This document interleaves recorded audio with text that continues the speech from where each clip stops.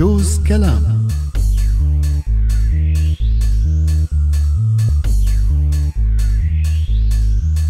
العمى العمى العمى العمى.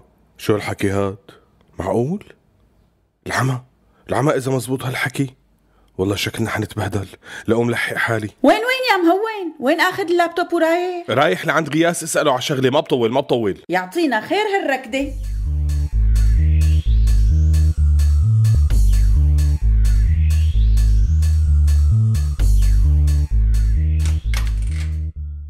مرحبا ام جوزيف. أهلين شو رحت عملت عند غياس شو صاير معك والله يا أم جوزيف صايرة شغلة كبيرة مو معي بس مع نص هالبشريه يا لطيف نيزك لك لا. لكان شو زلزال؟ لك لك لا مو زلزال يعني يعني مو كارثة طبيعية من الأساس. لكان شو؟ كارثة تكنولوجية. لك إيه والله وقعت لي قلبي شو صاير؟ هذا يا ستي كنت قاعد عم أقلب وأقرأ بهالأخبار. قمت قريت خبر إنه فيسبوك سربت معلومات 50 مليون مستخدم للفيسبوك وباعته لشركة بريطانية ساعدت الرئيس الأمريكي دونالد ترامب إنه يفوز بالانتخابات. قام رقدت لعند غياس مشان يفهمني الموضوع؟ بتعرفي هو دارس تكنولوجيا معلومات. إيه ما اختلفنا. بس وين الكارثة بالموضوع؟ لك عم أقول تسريب معلومات ساعدت على فوزه لترامب بالانتخابات. يعني خايف تكون معلوماتك من يلي ساعدت ترامب على الفوز؟ أم جوزيف لا تتمسخري هلأ الموضوع خطير وجدي.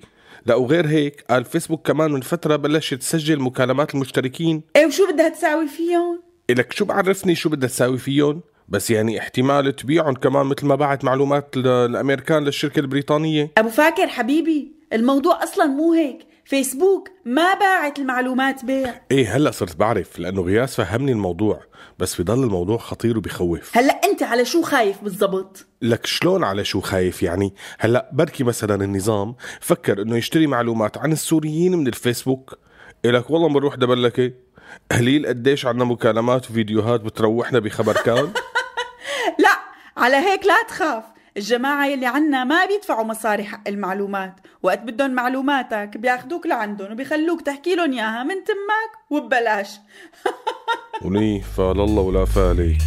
جوز كلام.